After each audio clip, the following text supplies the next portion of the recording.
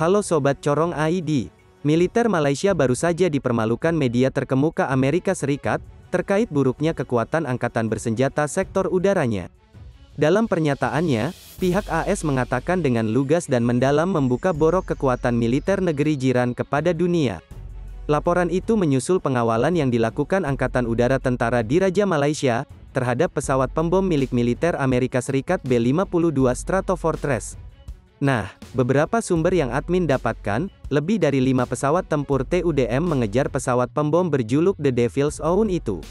Tapi jenisnya campur aduk, tak seragam, ada yang buatan Amerika, Inggris bahkan Rusia.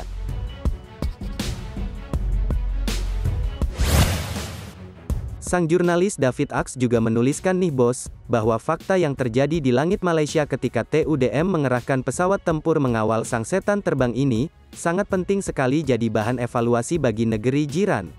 Sebab, dalam beberapa bulan ini Malaysia sedang dipusingkan dengan lalu lintas pesawat-pesawat militer China di dekat wilayah udaranya.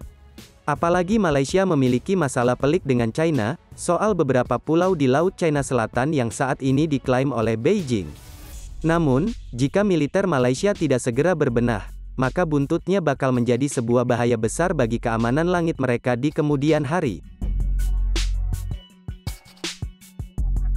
Karena dengan kekuatan pejuang udara yang lemah seperti itu, rasanya sulit sekali menangkal, apalagi mengimbangi kekuatan burung terbang militer China jika terjadi perang.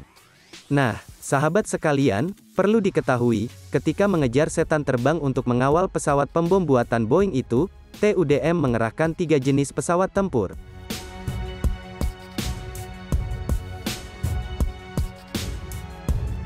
Dua pesawat tempur buatan Inggris Hawk 208, tiga Sukhoi Su-30 buatan Rusia, lalu dua Hornet FA seri 18D buatan Amerika Serikat.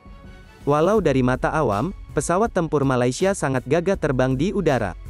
Tapi dari kacamata kekuatan militer tentulah berbeda bos. Apalagi saat ini TUDM memang sangat kekurangan pesawat tempur modern yang memiliki daya gempur tinggi.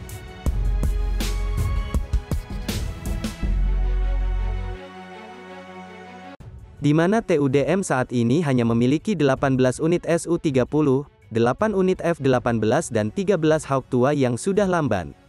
Sebagai negara tetangga, kita doakan saja semoga Malaysia mampu memperbaiki kekurangan yang ada, begitupun dengan Indonesia.